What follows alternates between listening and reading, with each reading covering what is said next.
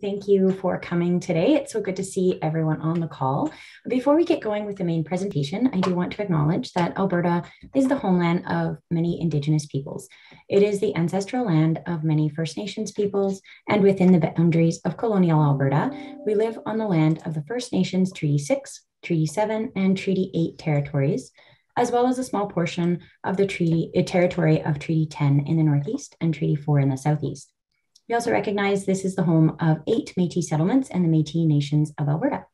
My name is Alicia Fox. I am part of the Community Development and Engagement team here at RhPAP. Our team can be found across the province working with rural communities in the realm of attraction and retention of healthcare providers. I am fortunate enough to live in the small community of Innisfail. Um, so, in the work that we do with our communities, we have found that there is um, an interest in learning more about other health related organizations that are connected to rural Alberta. And by hosting these information sessions, we hope that rural Albertans will come away feeling informed about what's happening and available in their communities. Today, we are so thrilled to have Susan Smith, Vanessa Weatherby, and Alicia Kerber with AHS Medical Affairs with us to give a little bit more insight on the process of physician recruitment and the work that they do in rural Alberta. So, without further ado, I will turn it over to our speakers. Perfect. Thanks so much, Alicia. I'll close this off. I don't know if that's my on me or not, but just in case. Um, so welcome everyone. Uh, I am Vanessa Weatherby. I'm a senior consultant with medical affairs.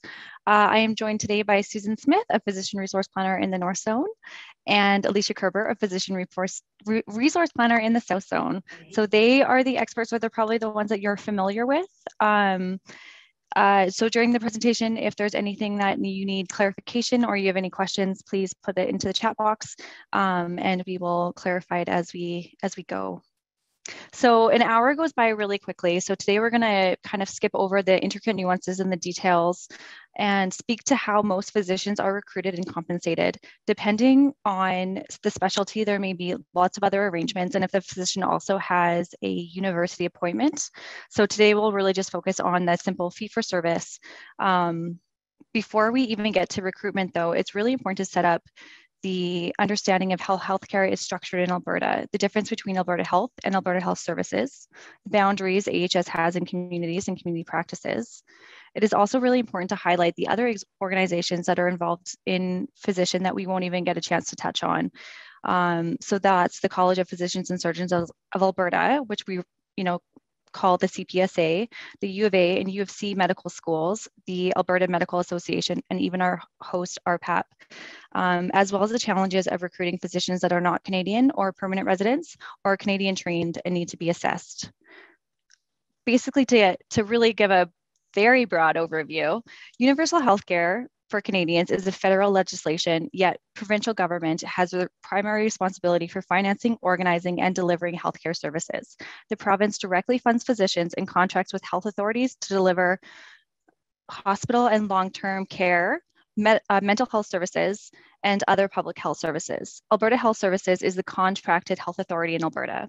The provincial government is Alberta Health. So that is, you know, the big wheel the start of it all, the Premier appoints an elected official to be the Minister of Health.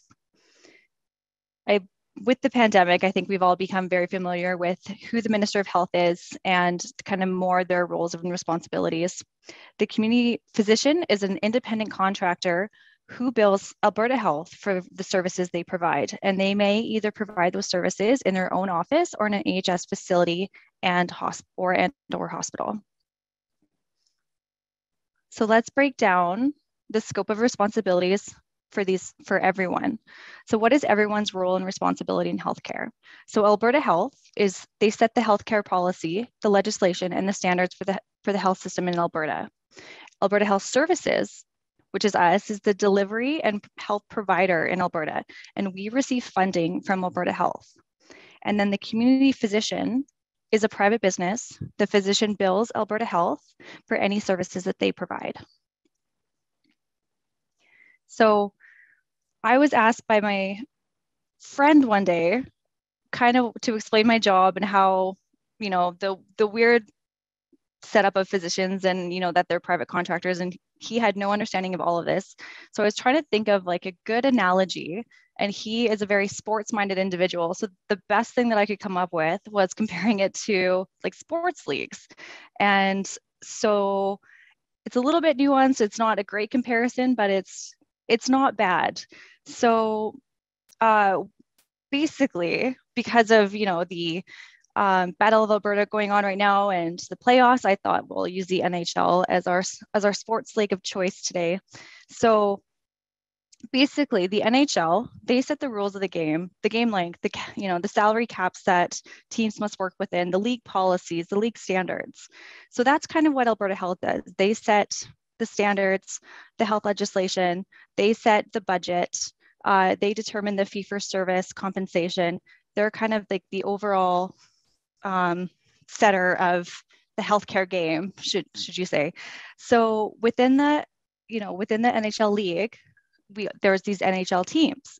So they set their own team policy, their team standards. They hire employees for their team. So that could be, you know, coaches, nutritionists, trainers, whatever it may be. Um, they determine schedules of who plays and when, uh, and they also contract uh, players. So they like send out, you know, try to recruit players to their team, offering them, you know, X amount under their um, salary cap, and try try to make the best team that they can with the uh, money allowance they're given. And so we're kind of like, you know, an NHL team. So we deliver and provide the healthcare within a set budget. We hire our own staff. So that's the nurses, the admin, janitorial service, you know, everyone else besides basically physicians comes out of a budget that we are given. Uh, we set policies for staff and the services that we provide. And then on top of that, we contact we contract physicians as they are an independent uh, contractor. They don't they are not employees of Alberta Health Services. Um, so just this is where it gets a little nuanced, but I only looked it up for the purpose of uh, this presentation just out of interest. So technically, um, hockey players don't become independent contractors. They actually are determined to be NHL employees, not the team. Uh, but independent uh, physicians are independent contractors. Uh, so that's kind of where this falls apart a little bit at the end here. But at the end of the day, they both kind of represent the team or the organization that they are contracted with. So just to be clear, fee for service is also called the schedule of medical benefits. So in Alberta, if, if physician X uh, provides X services, they get X dollars. Um, and that's when we talk about fee for service, that's the compensation. So if, you know, they consult, if they do this surgery, it is in a big book, it says you get X amount of dollars for that procedure. And uh, that's how they're paid. So let's go back to what AHS is and what our purpose is to do. So we are the largest health authority in Canada, and we get our budget from um, Alberta Health, and that is the provincial government. And the provincial government also provides us a list of priorities, uh, depending on you know platforms that they run on, things that you know are important that they want to see changes to healthcare system within their tenure of government. So just as an example, that could be something like reduce surgical wait times. So we do get li- like a list of priorities that we must kind of try to tackle while also providing healthcare for all Albertans and have quality care when they need it within the budget that we are given. So I'll go back to that third wheel to talk about community physicians and where our role is and where it's not. Um, so community physicians and their community practice are a private business. If a physician has an independent license from the CPSA, AKA they are qualified to work and have a billing number from Alberta Health to charge fee for service, they can set up a practice. So all they have to do is go on to Alberta Health and apply for a license um, to, to get her a billing number to bill fee for service and they can go set up a sign and go bill. AHS has zero involvement in any of this, so AHS wouldn't even be aware that this physician exists. So it's also important to note that their fee-for-service earnings um, need to pay their staff, their rent, their utilities, aka all their overhead of operating and owning a business. So that is inside of their private office. Everything, all their fee-for-service earnings needs to cover those aspects as well as salaries and whatnot. So that same doctor in a small community may you may also see them at a hospital or facility. So how do they get there? The physician in that hospital will still be billing fee for service, um, but AHS is involved in their recruitment, their scope of practice, the scheduling. Um, we ensure that they are, you know, qualified, that they're doing the right things at the right place at the right time. Um, so how do we get someone to come and work in a hospital? So for that, let's break it down to what AHS is and the medical affairs structure before we get to the recruitment piece. Uh, so medical affairs in all of AHS is divided into five zones and there are some provincial programs. So for example, that could be APL, which is Alberta Precision Laboratories, uh, Cancer Care, um, and those are the only ones. Public health, there's a there's a few, but I those are the ones off the top of my head right now. Uh, each zone has a medical affairs office and a zone medical director. So it's best to become familiar with your medical affairs office and those inside of that office. Should you have questions or concerns regarding anything happening within your zone, that's probably the first start. Uh, and recruitment is handled by each zone and uh, provincially for the provincial programs as well. And basically just the nuts and bolts of it is medical affairs is everything physician. So everything from the recruitment to the discipline to uh, privileging to, you know, assessing and all these things. We just do everything for, for physicians. So to talk about um, what guides our work and the, you know, the, the guidelines that we must work in as, uh, as employees as, of AHS and how, and physicians, um, there's a there's a lot of factors, but I will just outline the, the big ones here. So as mentioned, physicians are not employees. Therefore, they are governed by the medical staff bylaws and rules. It lays out the AHS expectations of them and what they can expect as a member of the medical staff at AHS. This includes everything from requirements of recruitment to how physicians are to be disciplined and sanctioned. These are provincial medical staff rules, which are more detailed. Oh, sorry, let me just step back here for one second regarding the, the bylaws. So these are voted upon uh, with many legal AMA um, and, and AHS uh, and they are kind of the holy grail of what we go by. Because physicians are not employees, they do not, uh, we cannot you know, discipline them or use the same employee law that we would for any others at AHS. So that's kind of what the purpose of the bylaws are. Um, we also have provincial medical staff rules, which are a bit more detailed than the bylaws, and zones also have their own set of medical staff rules. So although physicians are not employees, they are still bound to AHS policies, procedures, and codes of conduct, travel policies, and recruitment policies. These policies and procedures are the rules that we as in medical affairs also must work within when recruiting physicians. These policies are strict in ensuring everything is done with fiscal accountability and responsibility. So the, and the third one here is the CMO policies and CMO standing for Chief Medical Officer are policies which are specific to physicians, ensuring there's a clear understanding and guideline for everything within medical affairs. So while there are a lot of boundaries to work within, it is because of how high the stakes are with physicians. So if a mistake from a physician is the difference between life and death, we need to ensure that we have the right person doing the right job at the right place. So how do we even begin to identify the need to recruit somebody?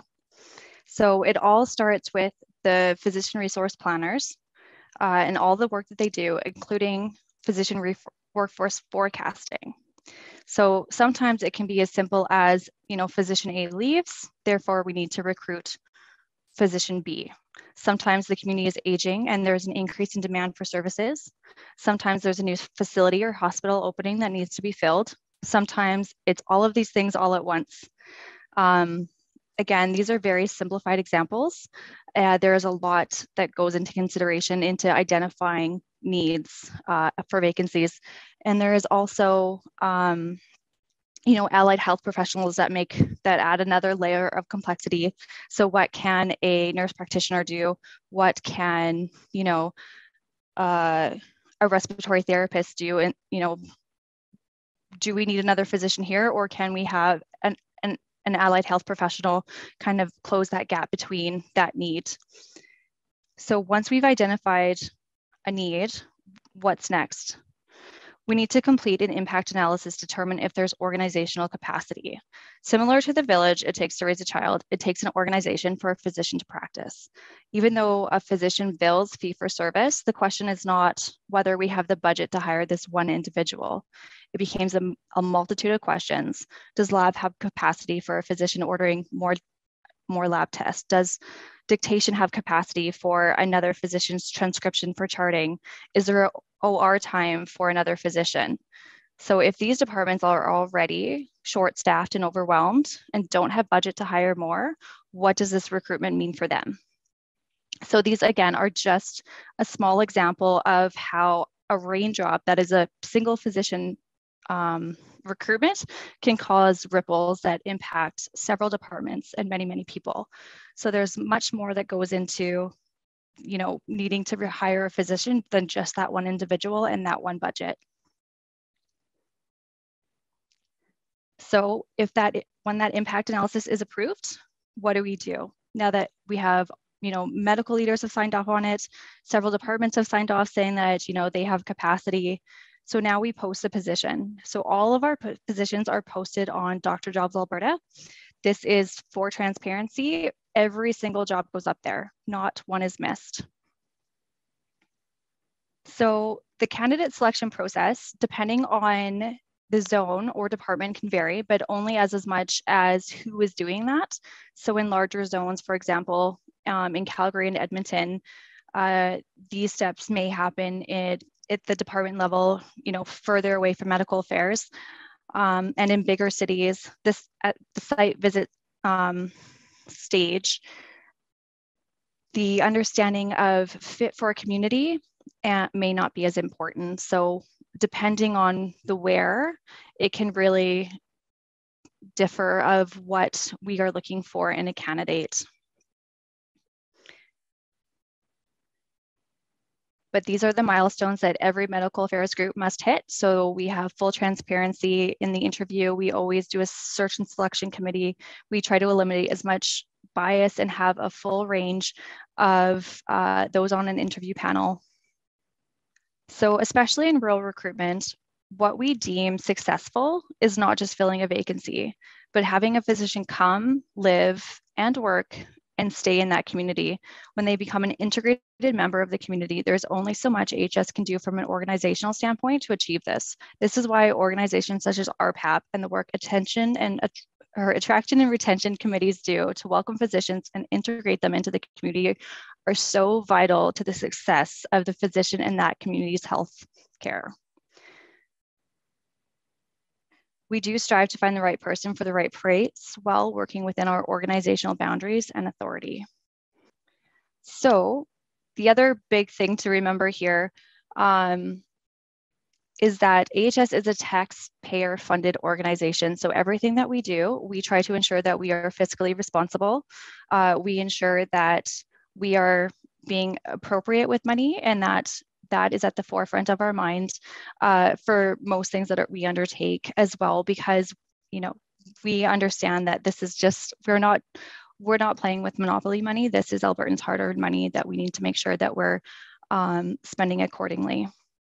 The other big thing that is important to remember with physicians is that we do not control the supply of them.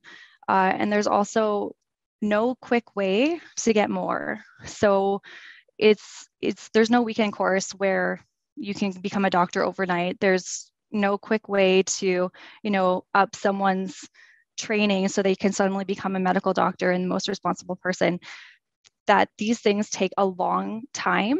So when we know that we have a short supply and it's national or it's even international, it's not a problem that gets solved in a month. It takes, you know, years before that issue can be addressed due to the length of time it, be, it takes to become a physician or a specialist or you know an enhanced enhanced skills type of thing. It's it's not a quick fix. Um, and the other thing that's really important to note which is again where you know these a- attraction and retention committees are so vital is that money doesn't make them stay.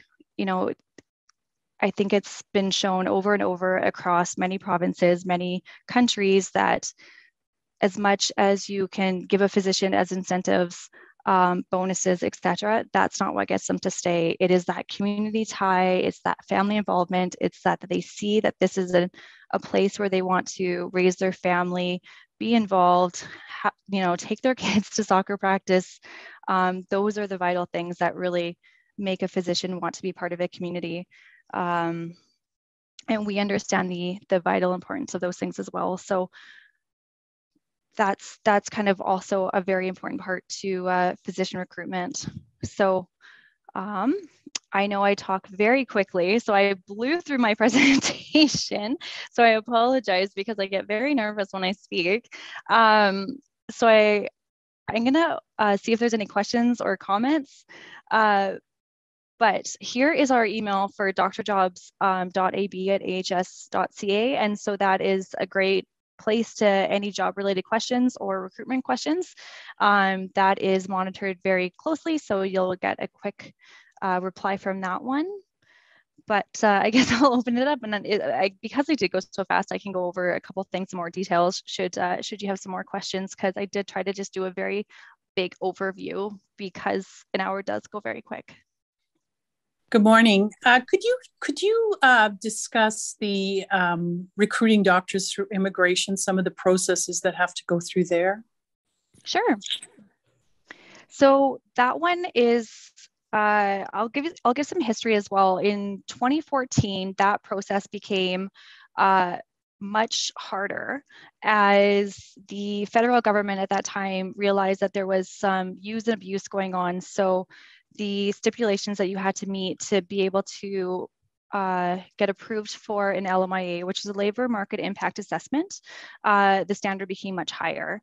So this is where it gets a little bit tricky as an organization because, um, as I've mentioned, we're not the employer of physicians, but we are doing an LMIA, you know, as an understanding that we're trying to bring um, healthcare providers under the uh, healthcare structure that we work in. So it, it, doesn't work great, but what so what we have to do, there's uh, we have to advertise in you know multiple places. We have to show what we've done to try to recruit Canadians and permanent residents to that. We have to show um, you know initiatives that we're doing to rely less on uh, foreign trained physicians. So, you know, are we opening up more seats? Are we doing training? Are we, you know, all of these things? But it but again, it's tricky because you can't offer a weekend course to get a Canadian trained doctor by Monday. So, you know, even anything that we try to um, initiate, it's it can be a 10 year process before we would see the benefit of something like that as well.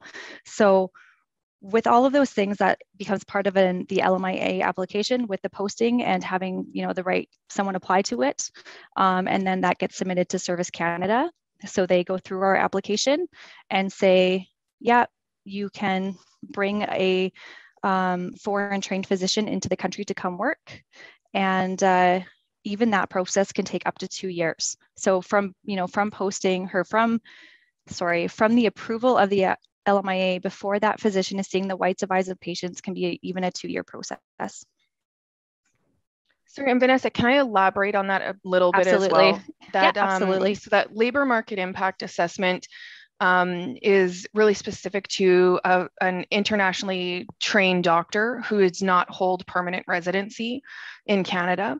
So we do have international medical grads that have pursued in the interim um, permanent residency status. And the process for the same for both, whether they have residency status or um, or not, um, is usually any international medical doctor who has done all their training outside of Canada can qualify for a provisional register license with the CPSA. What that means is that they require um, an assessment sponsored by AHS. And in Alberta, AHS is the only um, health authority that can sponsor physicians for, for that practice. So there's a lot of moving parts in that. A full assessment um, does is about six months. So there's a first portion is of three months, and that's 100% supervised with an assessor, where the physician um, is essentially working with um, a physician in Alberta that's in practice and has a general register license, and um, and they're being integrated into the Canadian healthcare system. So it's an opportunity for them to understand the fee-for-service billing, how our healthcare system works, um, and and be assessed for their skills that they're going to be bringing into into the job as well. And then the second portion is um, a supervised practice assessment is where the physician will work as the most responsible practitioner. So that's when we see them um, start in the community um, or the health facility that they're contracted to. And um, for timeline wise as well, from the time of interview to the time of commencing practice in the community um, on that assessment route is anywhere from eight to 12 months. So those processes do take quite a bit of time. The college becomes the primary point of contact through a lot of that. Um, and that information is also available on the CPSA's website um, through registration assessments, um, just kind of what some of that looks like. Yeah. Thanks, Alicia. Uh, with that as well, I wanted to also highlight um, like Alicia kind of touched on it, but we need the importance of those assessments and also just because they're a medical doctor in one country does not mean that they're able to be a medical doctor in this country. So, and that are standards that are set by um, the Royal College, by the CPSA that we have no control over, and they already they have a list of approved and not approved. Uh, so if they are on the not approved list, there's nothing that we can do to kind of do anything like that. They're going to have to start over from scratch, basically. Um, so there's you know there's a lot of moving pieces that we need to keep in mind, especially with internationally trained physicians. Um, and because we need to ensure that level of quality care and that they are able to do everything that they say they do, that's why we have to get them assessed. They need to be, you know, they have to meet the Canadian standard of what we expect expect as Canadians from a healthcare provider. So those things are very important. So just because they've applied and say that they're a doctor doesn't mean that they're a doctor in this country, unfortunately. Hi, um, I, I'm on the uh, Prairie Mountain Health Advisory Council, um, and I just wanted to know if you could talk a little bit more about the um, uh, candidate selection committee or whatever you call it, and specifically, um, do you have, um, like uh, in Banff, for example, I know that the hospital here has their own little committee that they're trying to within the i think it's within the community. So how does that relate to your your um, selection group? And is there sort of a cross um, like are there rep- community representatives on that on your committee or how does that work? So our committees will vary depending on department and position uh, and you know as well as zone obviously. So um, for ahs positions there would unlikely to be anyone that is a community representative at that stage. Um, we are trying to f- determine more of a medical fit at that point rather than um, a community fit, just to ensure that they are a you know a qualified uh, physician for that position. Uh, the search and selection committee, we do have um, a recommended standard that you know it consists of men and women. It consists of you know different um, diversities as well to try to get a large, as large as selection as that we can to eliminate any bias uh, and you know nepotism, all those other you know uh, fun HR words that we try to avoid. Um, you know, we the standard is a minimum of three people. Uh, that could vary depending on availability and uh, and whatnot. So uh, unfortunately, because I'm going to have to, ref, you know, uh, defer to Alicia or Susan on this one because they are more involved in who would be on those for their zones, uh, rather than my generalized statements of uh, what uh, our our guidelines are for as an overall group. I think that's great. There's, um, you know, so in our in our rurals and in Banff, you know, is considered into the into one of our urban zones, but is a more kind of rural community. So same type of thing where Um, you know, a lot of the times our health centers um, or the community clinics, I should say, are attached to the health centers. And AHS is recruiting to the health center. And in tandem with that, a physician, um, and the hope is that they will have a community practice as well. And that community practice, again, can sometimes be associated or attached to that health center. And so we do try to collaborate, um, you know, with recruitment and keep, um, you know, th- that type of stuff in mind. We have community medical directors at our facilities. And a lot of times, those community medical directors, they have that AHS contracted medical leader hat on, and they do also work in the clinic. They are a physician in the clinic they're providing services to the community and it's important for them to recruit to their community clinic um, as well. So they will um, they will keep their um, clinic members in in the loop. They will communicate with their physicians, um, um, try to keep them involved in not just the physicians, but the other staff as well. So the administrative staff, the clinic managers, um, we do have kind of, um, you know, I shouldn't say all the time, but most of the time, especially if it's an open recruitment case, communication with the clinic managers too. Um, but usually as a, as a standard, it's um, a physician resource planner, a medical leader, and another physician member in our AHS interviews. if a medical leader chooses, sometimes they do have their clinic manager attend um, attend the the interviews, and then any interviews. Um, sometimes there's a separate interview process um, for the community piece, and then I think really where the benefit to um, to those crossovers, so especially those attraction and retention committees that are that, that are available in different communities that become very vital to us in our process is when we have a physician come for a site visit. Um, so kind of once we've hit interviews and reference checks and we're pretty sure this physician is going to be a great fit, we want to bring them to com- the community get them integrated um, meeting different community members and at that point is when it's very important for us that we expose them to the community um, during a site visit um, as much exposure any exposure that we can provide and that's community tours um, obviously hospital tours or health center tours and um, and trying to meet with various um, community members committee members that exist if that does exist. And then that's a very vital piece going forward as well as the physicians integrating into the community starting practice. Okay, thank you very much. Susan, had you wanted to add to that? You're on mute right now. I do actually. There's, oh, I, I, oh, I'm okay. sorry. Wrong, Susan. Is, sorry, go ahead, Susan Giesbrecht. Yeah, I there's there's one other question I I just to um, make everything a little clearer to me. Um, RhPAP just works with physician recruitment. My question is, as we are having such a difficult time recruiting physicians, especially to the Wabasca area, um, and a couple of other healthcare centers we have in our area. Have you guys considered nurse practitioner recruitment? As you know, they they can do almost 90% of what doctors do, uh, physicians do, uh, as a way of filling that gap. Thank you. And sorry, so just um, just for um, clarification, RhPAP um, is um, helpful, like extremely vital to us in attraction and retention.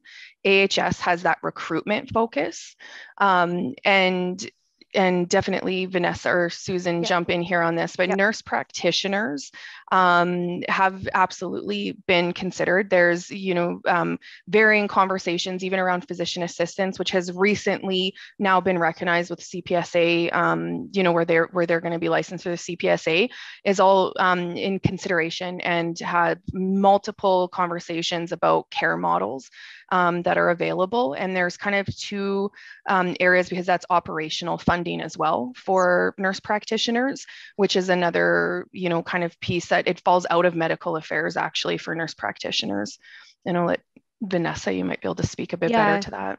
That's no, but that's great. Uh, so there's there's many different uh, disciplines that can help um, balance out the need for physicians. Uh, so you know that's anything from family medicine with uh, enhanced you know enhanced skills for obstetrics, anesthesia, surgical skills, um, nurse practitioners. Oh my gosh, why can't I think of them? The the baby ones. What are um what are they called? Why can't why is it healthcare aides? No, oh, uh, sorry. midwives um, midwives Oh, there there. you go oh my gosh um, so yes there is there is a long list of allied health professionals that we can uh, we do in every capacity um, try to consider um, in assisting with uh, helping take off the burden of the healthcare load on physicians one of the issues are that you know these these other you know we've always relied very heavily on physicians in Canada and in Alberta as the most responsible, you know, person for healthcare. So it's one, it's a mindset of, you know, us trying to reimagine the model. Two, it's a public perception of reimagining the model. Um, that you know they they come in they they see a nurse practitioner they're wondering where their physician is where their doctor is. So there's there's also a change within the public perceptions that need to come along with you know what we're able to provide as well. And then just ensuring that the resources around uh, those other given professions are there um, so that they have capacity and are able to fully practice within their scope. Um, so as I've said previously, we've always been physician kind of centric in how we've provided care. So in order to replace that physician with, um, you know, another profession, we have to ensure that the uh, surrounding, uh, you know, um, access that they would need is there. And uh, we also don't want to, I, like there's it's a very delicate way to say that we're, we're not trying to replace physicians. Our issue, we still want physicians. We still want lots of people, to, physicians to come and work and live in Alberta. One of the issues that we're trying to work within is that we don't have enough and we don't have enough in, in certain spots. So how do we get physicians to these areas? Um, you know, we're not trying to take over, you know, limit what they're able to do, you know, limit what they're able to bill.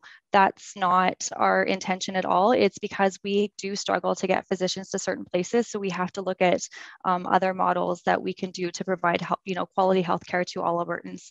And in order to do that, it is a very big juggling act with so many departments, so many um, ensuring that you know qualification support and everything that from an organizational capacity is there to ensure that that quality of care is there for everybody. Susan Smith, did you have something to add there? I, I did just a little bit back. I'm just kind of trying to on my other screen monitor the questions. And there was a little there was a question that was kind of and and you've spoken to it, but it's um in the North Zone. We um I, I think maybe have a bit to add. So the question was, do physicians have um um what is it now here? Do they have input into hiring into their clinic. So when we go back, uh, we we approve a job, it's posted. We shortlist the in medical affairs or myself, look at all the applicants and make sure that the physicians that have applied either have a license to practice in Alberta or have went through the College of Physicians and Surgeons and are eligible to practice.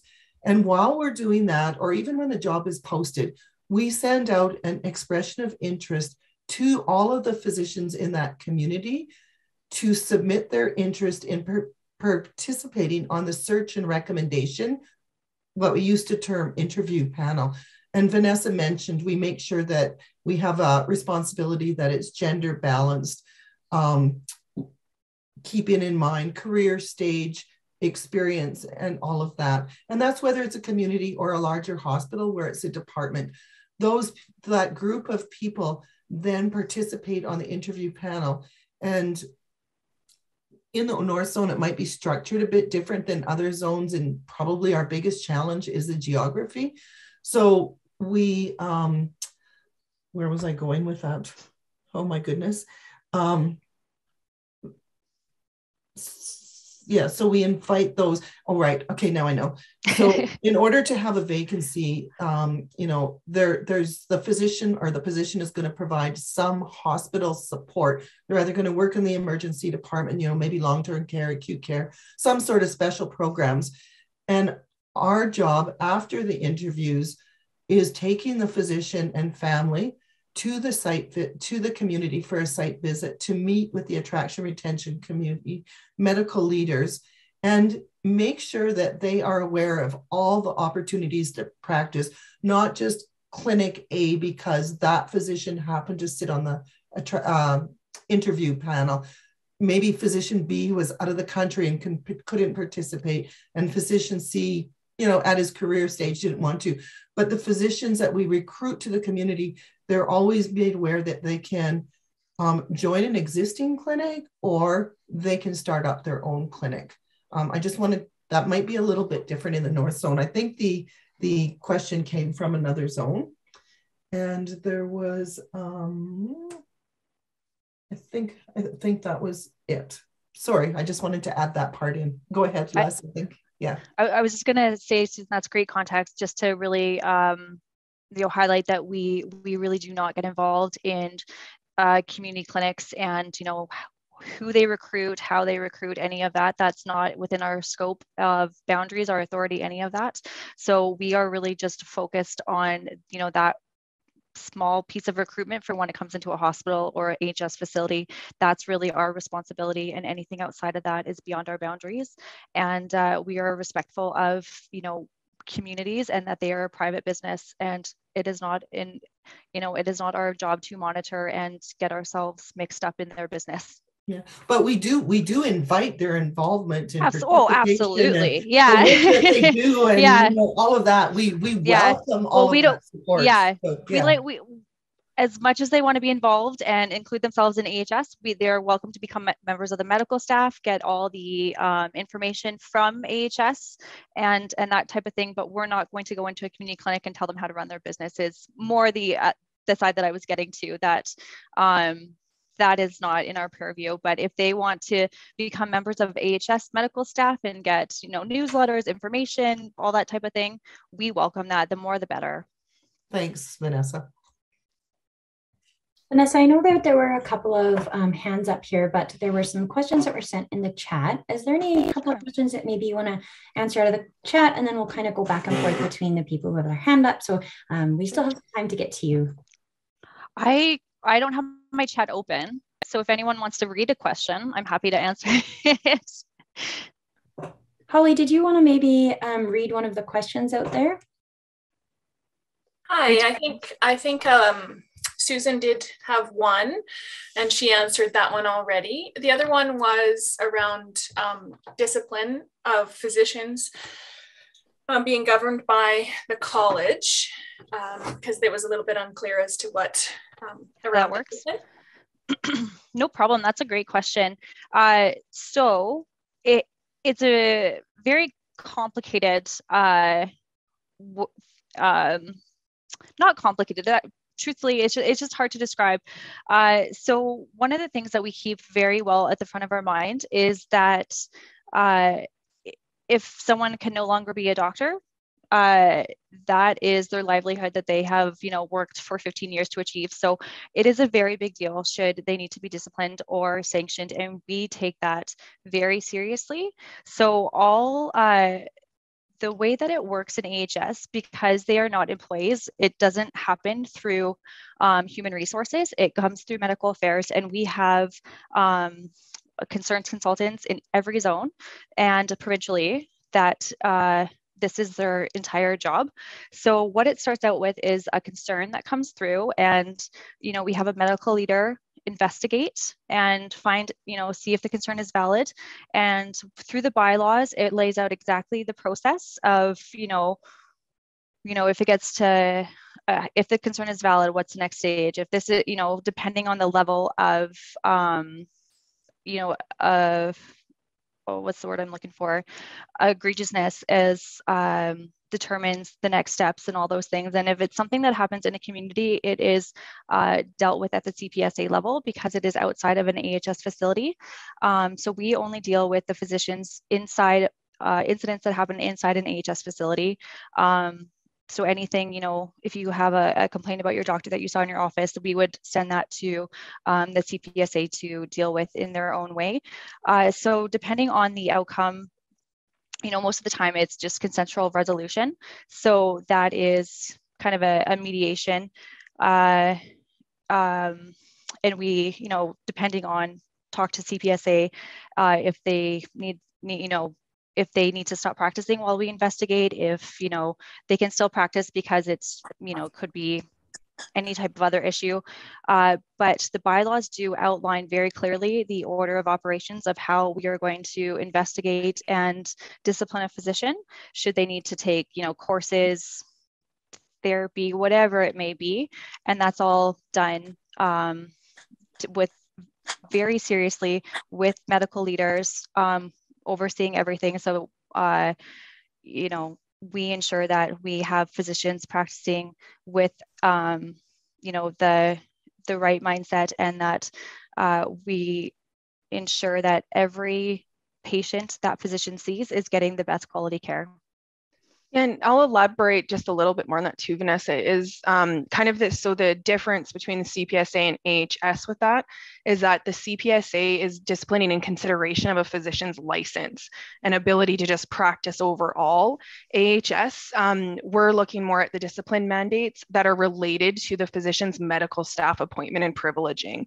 Thank so that's um, also going to include like probationary assessments. So every physician starts out with a probationary appointment for a minimum of one year.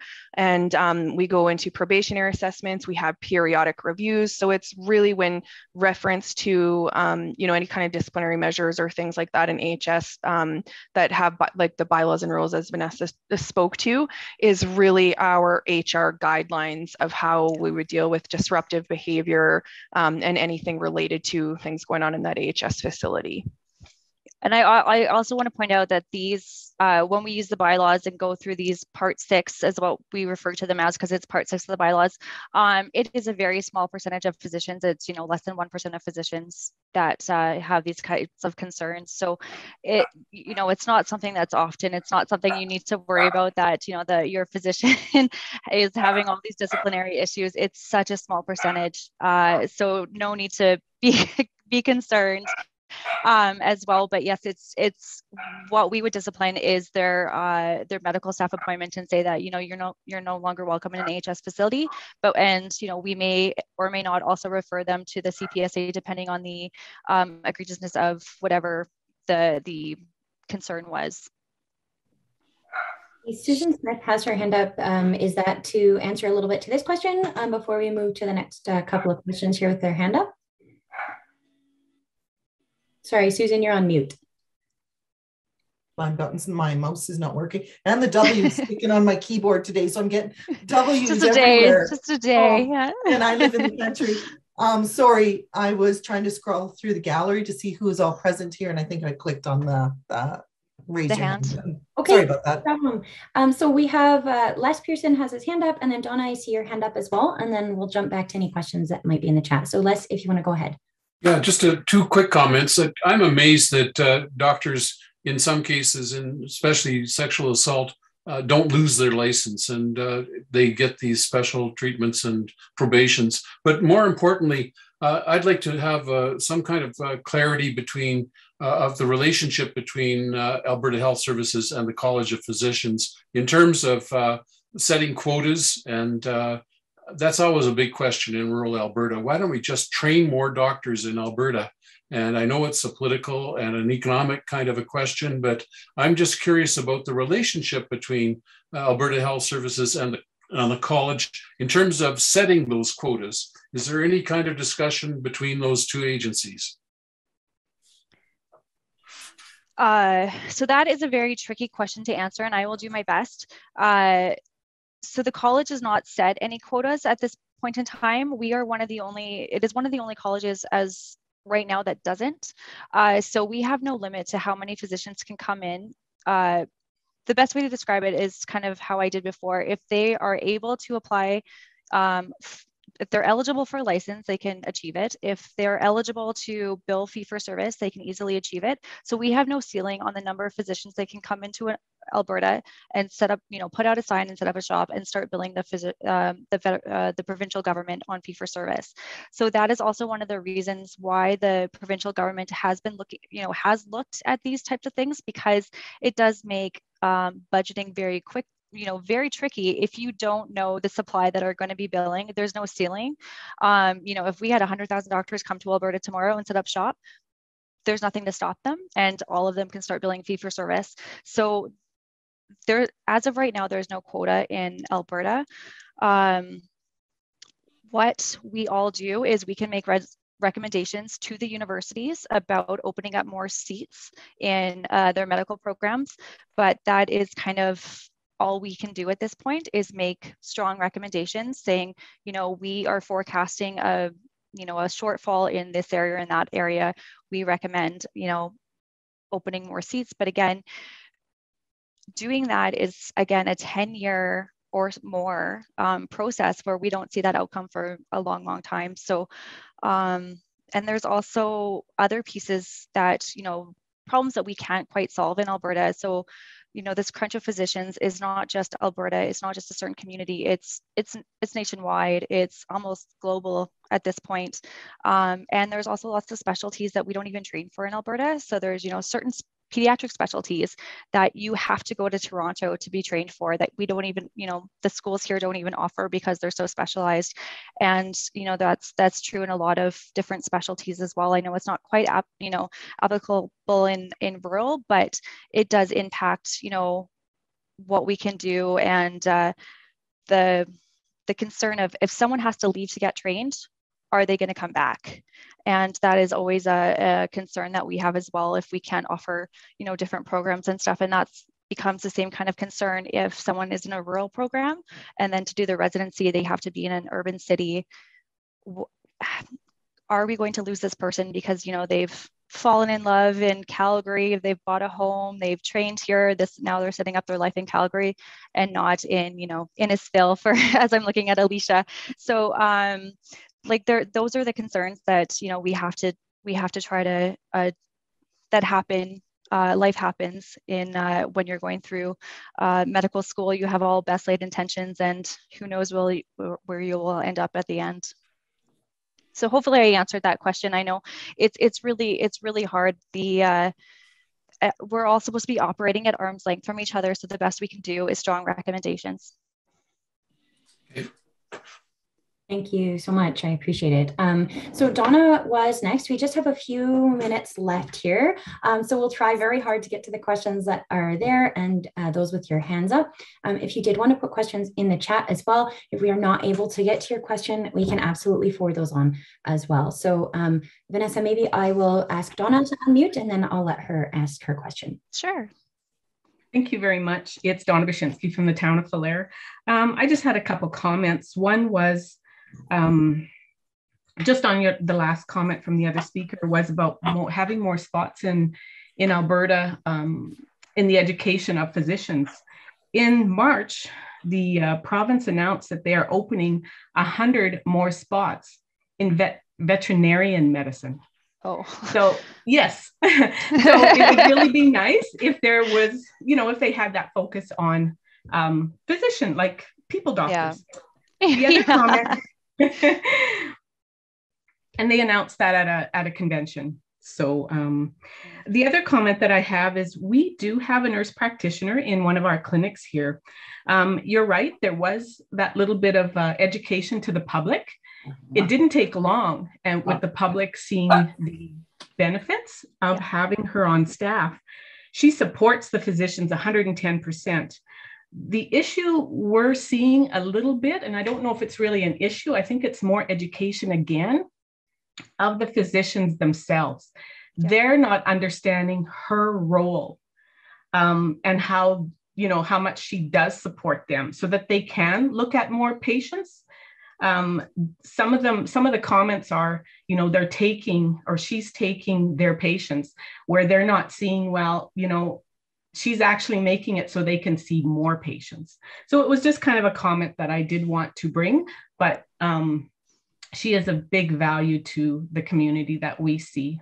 So um, thank you for taking my comments. Appreciate well, thank it. you. We pre- appreciate that. And yeah, that is, um, I, I did use the word and I, as soon as it came out of my mouth, I was, uh, you know, highly aware that it's the incorrect one that of the word replace. We absolutely do not want to replace physicians uh, with other allied health professionals. It is to enhance everyone's practice and be able to, um, you know, provide healthcare with the resources that that we have and the supply that we have. Um, I, I know from personal experience that even my physician is concerned about, you know, if we use physician assistants and clinical assistants and all these that, you know, he's getting replaced and his scope is getting limited and, and you, that is not the goal at all. We're not trying to, you know, have take away what they can do and bill and uh, their livelihood at all. It's you know trying to work within the limited supply and uh, you know other issues that that we have. Um, it's just there's a bit of uh, fear mongering that's that's you know kind of gone on in the last few years with the prospect of different legislations and and stuff among physicians that you know they will always be a vital and important part of healthcare.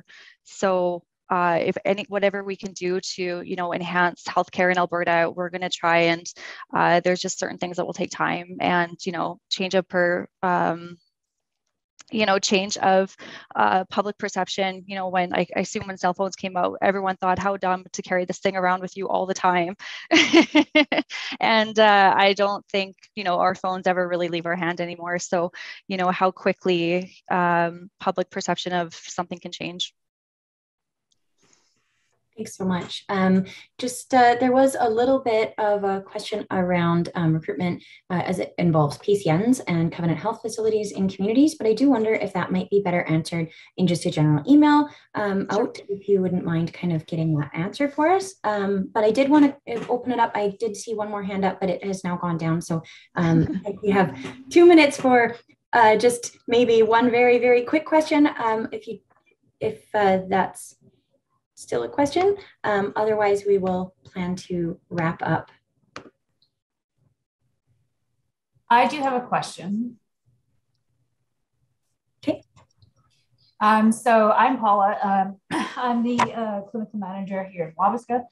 Um, we don't have a committee um, for uh, welcoming or even um, uh, giving a new physician a tour of the community, anything like that. I'm I'm actually personally taking responsibility of this. Our um, community medical director is not doesn't actually live in the community. It's really kind of confusing, and he also doesn't do any of the um, uh, initial um, gestures for for the physicians. And we are supposed to have some incoming. I'm just wondering how how AHS can help me um, create some sort of network or support where I can have the um, new recruits actually properly introduced to the community. Yeah. Um, so Paula, if you don't mind jump me jumping in for just a second there, um, Anita Fayant is the um, is the RhPAP consultant for that area. And if you're not connected with her, I can absolutely connect you with her. Um, but Vanessa, I'll hand it back to you as well.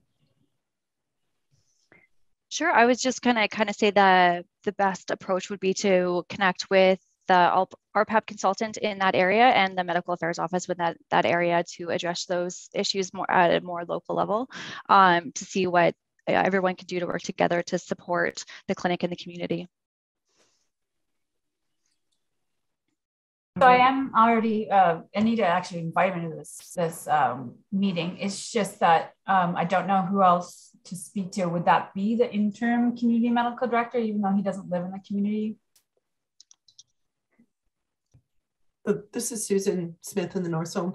Um, some of the communities that I work for is more on the sort of the northwest part of the North Zone, and um, and if I I see Linda Robothen's on the phone, so I'll pick on her, and she's with Cache, and um, we have been sort of collaborating, and really it is, um, you know, we've had a recent two site visits, and just myself reaching out and different members of the community volunteering while they're working on establishing a reta- attraction and retention committee. They've been very generous in helping with site tours and and you know providing information for the physician looking for realty. We had a dinner where everyone came together or, or meeting i guess i should say and we all came together. And as the physicians hopefully in august they will be there. I'm i'm sure linda and her crew and that will make sure that they attend you know whatever's happening in Grande Cache connecting with you know the the manager of the fitness center. So I think, as Vanessa suggested, maybe um, maybe your uh along with the RhPAP consultant and your physician resource planner for that area can you know kind of help to bring some of those ties together for you in the interim. Go ahead. Oh, I was just going to say we're now at 12:02, so I think we're going to have to wrap up what has been a really amazing um, conversation. Um, if that is all right, I may um, just thank you for the presentation. So um, thank you so much. It was great information, so many questions, um, and the more informed we are, the better we can uh, help to support the work that you're doing and uh, support rural healthcare providers um, as well. So um, that is all that we have for this session today. Thank you so much for um, hopping on the call and uh, have a wonderful rest of your day and a good long weekend. Thank you guys so much. Thank you.